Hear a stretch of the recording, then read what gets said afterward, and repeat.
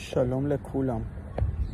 יושב כאן בכיף שלי, מדפדף בציוצים של חבר הכנסת אחמד טיבי, ופתאום נתקלתי בציוץ שלו מתחת לסרטון. פונה לבן גביר בנוגע לעלייתו להר הבית, ואומר בן גביר משכנע את איראנים לתקוף. אז אחד, בן גביר עלה להר הבית, ועלו עוד להר הבית, והתפללו אלה שמאמינים להיכנס להר הבית, ואיראנים חוק אחמד טיבי לא תקפו. עכשיו מה הסיפור בתור אליהו יוסיאן, איראני, אסלי, שעד שנת 2003 עד גיל 23 חייתי, הייתי באיראן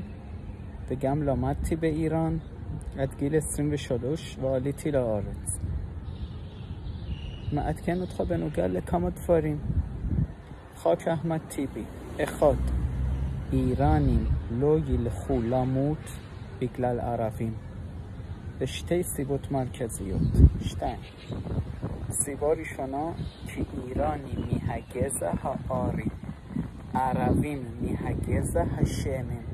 به تفیسا ایرانیت به ایران. ایرانیم رویم اتتسمام گزه الیون. که هم لو سفریم تعرفیم. پام شنا. پام شنیا. بسیبا داتیت. ایرانیم هم شیعیم. و عربیم به روف هموفهاک هم سونیم. ایرانی شیعی لوه و لخ لاموت بیشویل عربی سنی. لخن. کل همیلیציو چه اتا روه خاک احمد تیبی للو یوتسه من کلال.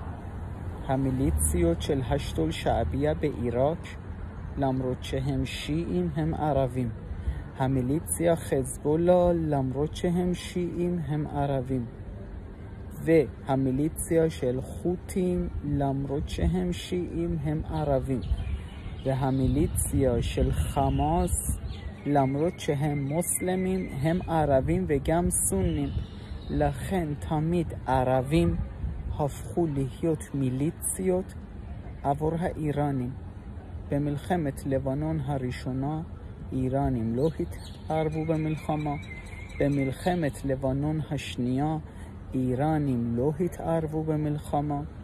به کل همه ارا خود شل اسرائیل مول از ایرانیم. لوهیت عربو به خود که ایرانیم. آریم. شیعیم.